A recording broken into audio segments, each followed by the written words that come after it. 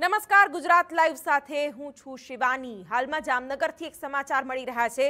ત્રણ માળની ઇમારત ધરાશાયી થવાના સમાચાર મળી રહ્યા છે. સાધના કોલોનીમાં ત્રણ માળની ઇમારત ધરાશાયી. કાટમાળમાં ત્રણ લોકો ફસાયાની આશંકા સેવાઈ રહી છે. ફાયર બ્રિગેડ અને એકસો આઠ એમ્બ્યુલન્સની ટીમ ઘટના સ્થળે પહોંચી છે. પચીસ વર્ષથી વધુ જૂની હતી આ ઇમારત. ત્રણથી ચાર લોકોને કાટમાળમાંથી બહાર પણ કઢાયા છે. ઘટના સ્થળની તસવીરો જોઈ શકાય છે, જેમાં જામનગરમાં ત્રણ માળની ઇમારત ધરાશાયી થઈ છે. પચીસ વર્ષથી વધુ વર્ષ જૂની આ બિલ્ડિંગ હતી અને તે ધરાશાયી થઈ છે. ત્રણ લોકો અંદર ફસાયા હોવાની આશંકા પણ સેવાઈ રહી છે. કેટલાકને બહાર કાઢ્યા તેવી પણ માહિતી મળી રહી છે.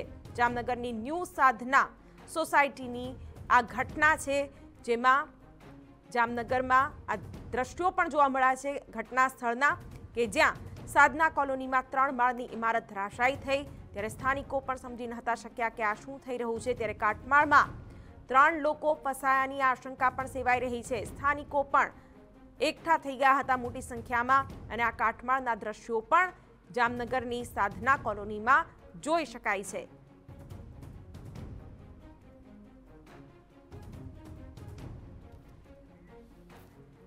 ત્યારે ત્રણ માળની ઇમારત ધરાશાયી થઈ. તે સમયે ત્યાં કોઈ હાજર હતું કે કેમ, તેનો પણ તેની પણ માહિતી આપને આપીશું. પરંતુ ફાયર બ્રિગેડની ટીમ હાલ તો ઘટના સ્થળે પહોંચી છે. ત્રણ લોકો દટાયાની આશંકા છે. અંદાજે બત્રીસ વર્ષ જૂનું આ બિલ્ડિંગ હોવાની પણ માહિતી મળી રહી છે.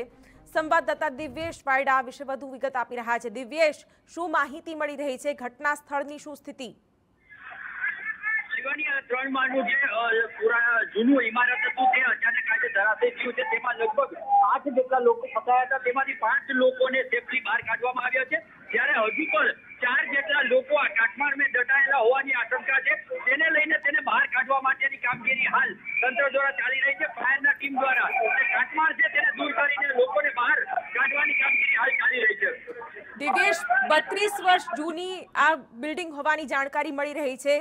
કેવી સ્થિતિમાં આ બિલ્ડિંગ હતી? જર્જરિત હતી? તે અંગે કોઈએ નોંધ લીધી હતી કે કેમ?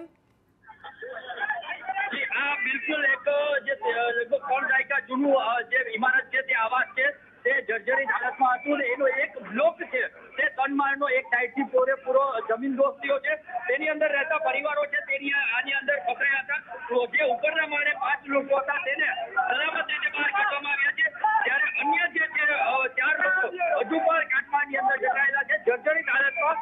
મકાન હોવાના કારણે આજે અચાનક સાંજના સમયે આ બિલ્ડિંગ પડી ગઈ બિલકુલ, તો અમારા સંવાદદાતા જે રીતે જણાવી રહ્યા છે કે હાલ તો આ જર્જરિત સ્થિતિમાં આખો માળ હતો જે ધરાશાયી થયો છે, જેમાં ત્રણ લોકો ફસાયાની આશંકા.